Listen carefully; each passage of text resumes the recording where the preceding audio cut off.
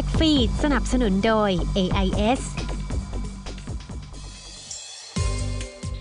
สวัสดีค่ะ Tech Feed พบกับซู่ชิง จิตต์สุภาฉิน เราจะมาอัปเดตความเคลื่อนไหวในแวดวงเทคโนโลยีและอินเทอร์เน็ตเทรนด์กันค่ะ วันนี้มีความเคลื่อนไหวอะไรบ้าง ไปติดตามอัปเดตพร้อม ๆ กับเราเลยค่ะ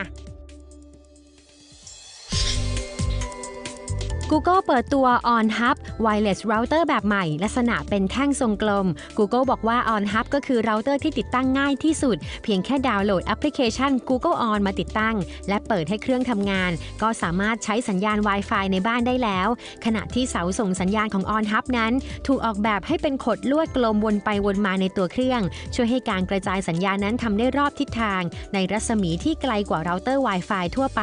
สามารถใช้เป็นทั้งตัวกระจายสัญญาณ Wi-Fi จากเราเตอร์เดิมที่สัญญาณอ่อน หรือจะเชื่อมต่อจากสายแลนโดยตรงก็ได้ สั่งจองได้แล้วทางเว็บไซต์ Google Store TP-Link และ Amazon ค่ะ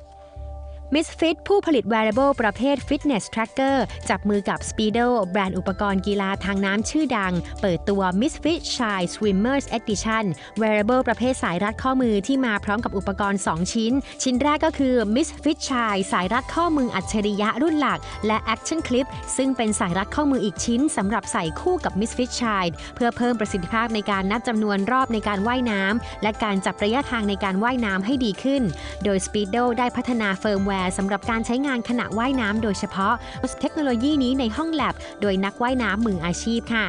Device ทั้ง 2 ชิ้นสามารถกันน้ำได้ที่ความลึกถึง 50 เมตร ตัวหน้าปัดมาพร้อมกับไฟ LED แสดงผลเป้าหมายในการออกกำลังกาย และปริมาณไฟที่เหลือในแบตเตอรี่ Misfit Shine Swimmer's Edition พร้อมวางจำหน่ายบนเว็บไซต์ apple.com misfit.com และ speedo.com ในวันที่ 1 กันยายนนี้ค่ะ ในงานประชุมนักพัฒนาของ Intel ที่นครซานฟรานซิสโกของสหรัฐสัปดาห์นี้ Intel ได้เปิดตัว Skylake โปรเซสเซอร์รุ่นใหม่ที่มาพร้อมกับเซ็นเซอร์ที่สามารถจับคำสั่งเสียงได้ตลอดเวลา แม้แต่เวลาที่เครื่องนั้นอยู่ในโหมด Sleep หรือว่าจอดับอยู่ รองรับการใช้งานร่วมกับระบบปฏิบัติการ Windows 10 วิธีใช้งานเพียงแค่พูดคำสั่ง Hey Cortana หรือ Cortana Wake up เครื่องคอมพิวเตอร์ที่อยู่ในโหมด Standby หรือว่า Sleep ก็จะติดขึ้นมาทันทีค่ะ จากนั้นระบบก็จะส่งต่อการควบคุมคำสั่งไปที่แอปพลิเคชัน Cortana ให้โดยอัตโนมัติ นอกจากนี้ Skylake ยังมีความสามารถในการรับคำสั่งเสียงจากระยะไกล อย่างเช่นการตะโกนจากอีกห้องหนึ่งมายังตำแหน่งที่คอมพิวเตอร์ตั้งอยู่ หรือจากมุมต่างๆ ของห้อง โดยไม่จำเป็นที่คอมพิวเตอร์นั้นจะต้องอยู่ด้านหน้าผู้ใช้งานตลอดเวลาค่ะ Lalamove เป็นแอปพลิเคชันที่ให้ผู้ใช้ได้ใช้บริการขนส่งสินค้า โดยมีจุดเริ่มต้นครั้งแรกในฮ่องกง และตอนนี้ก็เข้ามาให้บริการในไทยแล้วด้วยยอดจัดส่งที่มากถึงหลักพันต่อวันค่ะ เราไปทำความรู้จักกับ Lalamove และก็วิธีการใช้งานแอปพลิเคชันนี้กันค่ะ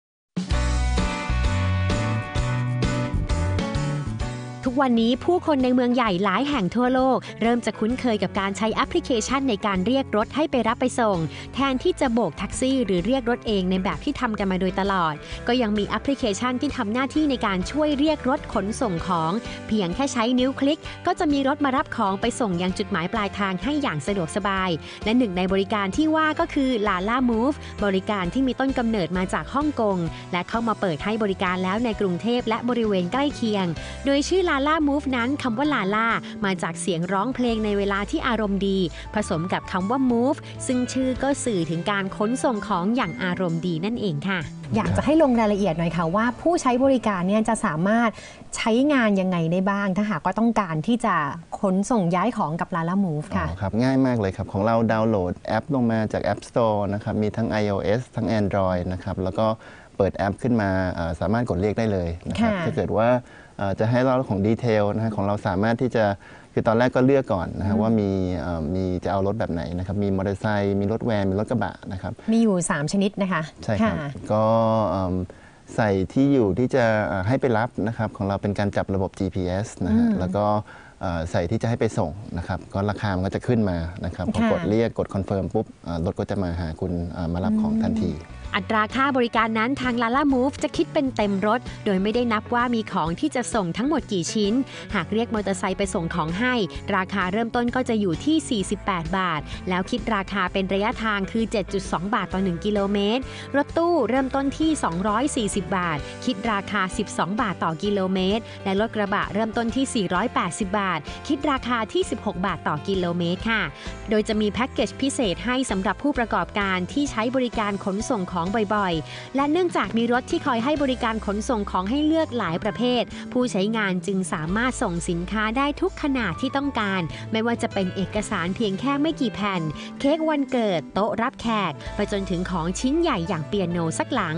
ลาล่ามูฟรับขนส่งของทุกประเภทยกเว้นสิ่งมีชีวิตและของผิดกฎหมายค่ะ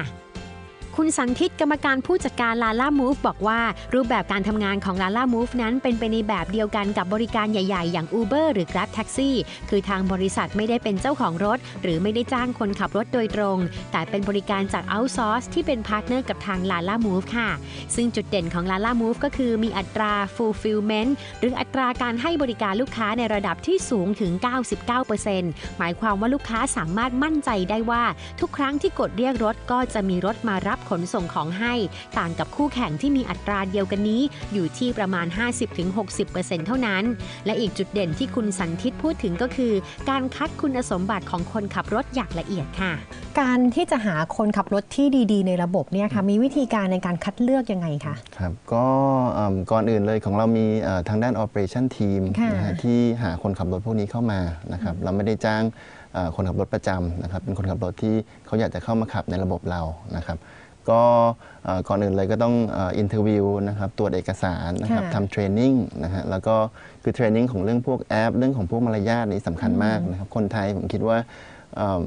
เลเวลของเอ่อคือความความคาดหวังของการบริการค่ะนะฮะค่อนข้างสูงนะครับถ้าเกิดเทียบกับเทียบกับเมืองอื่นนะครับเพราะฉะนั้นของเราจะเน้นตรงนี้มากนะฮะค่ะ คือต้องเป็นคนที่มี service mind พูดจาดีให้บริการลูกค้าดี ใช่ค่ะ ใช่แล้วหลังจากนั้นคือเรามีการ monitor feedback จากลูกค้าด้วยนะครับถ้าเกิดมีปัญหาอะไรเราก็มี